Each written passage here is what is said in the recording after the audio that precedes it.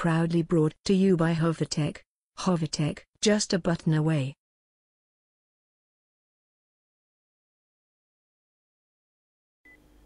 In this video tutorial, I'll be explaining how to bypass factory reset protection or FRP on a Qualcomm Android device using Ultimate Multi-Tool UMT box.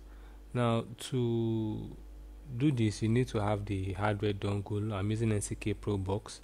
You also need to have installed UMT QC Fire. I have mine here and I've launched it and then wait for the dashboard to come up. Once the dashboard comes up, you come under the read and tools tab and then you click reset FRP. Now this is going to give you a warning just to be on the safe side you could go ahead with backing up before you go on to bypass FRP but I already made a backup so I don't need to go ahead with that so I just click OK.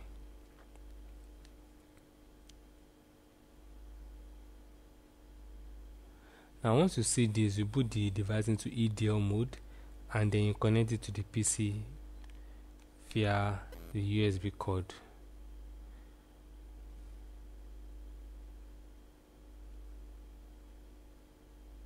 Then you wait while the tool bypasses the FRP.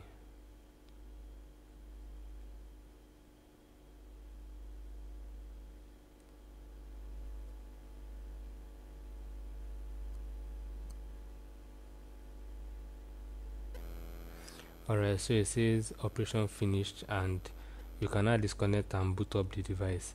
So that's how to bypass factory reset protection or FRP on a Qualcomm Android device using Ultimate Multi-Tool QC Fire.